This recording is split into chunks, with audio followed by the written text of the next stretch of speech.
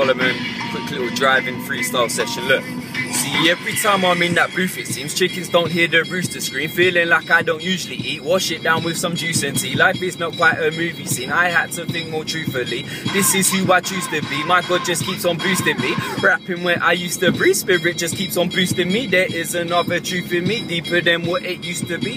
Higher where I usually see. Walking with some new shoes to feet. Stop and smell them flowers, but me, I just keep uprooting trees. So call me the gardener. You man claim me spit flame, but after the man ain't hardly warm enough. And me, I'm hardly warming up. Still, I'm gonna let that go. So pull up the beat, pull up the track, pull up the rhythm, try to get that flow. Put thinking caps on forward.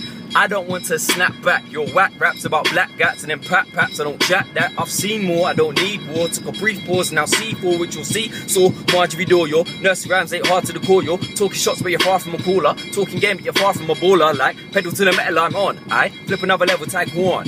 Doe, no homer. Trying to see more range, no rover. Gave God the reins to no chauffeur. Trying to be the change that I go for. Here curry, there curry, dog. They're mice chasing cheese round the clock. They're chatting about stacking the Glock. They're chatting about packing the Glock. Always the same ish, but on a different day. Flows open the vocals in the chokehold and go straight a different way. Look. Cause when you're talking all your talk, you know I can't cheer. You're rapping like all other rappers rapped it last year. And the one before. And the one before it. You might change your beat, but still it's just the same old story. Like when you're talking about that girl undressing, don't you think that's someone's daughter and that girl's a blessing, huh? And when you talk about that way you're sexing, don't you think that there's some boundaries you're overstepping, huh?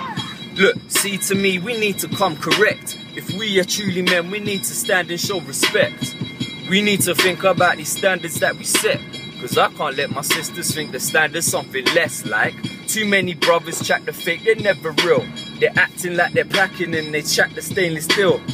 It's like somebody wrote a book and told them how to spill a load of nonsense on the camera. Someone changed the real. Look, changed the real. You know the deal. I'm out.